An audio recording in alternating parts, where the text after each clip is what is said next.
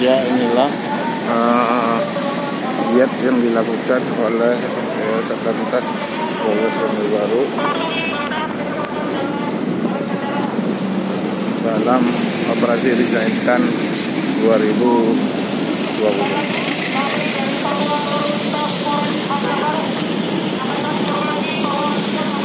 Menubah.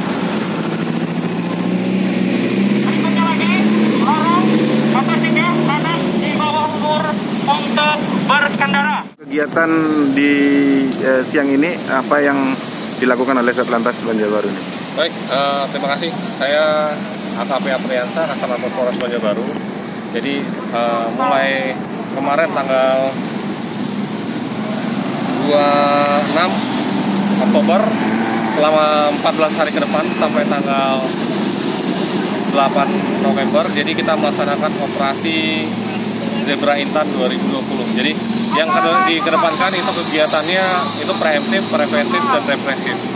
Jadi 40% kegiatannya preemptif, 40% kegiatannya preventif, kemudian 20% itu kegiatan represif. Represif itu penegakan hukum.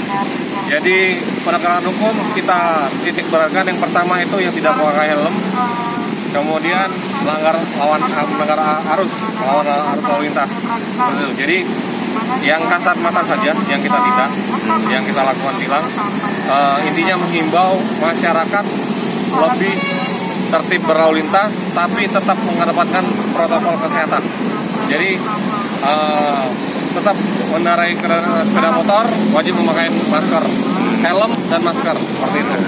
Jadi tetap mengedepankan protokol kesehatan.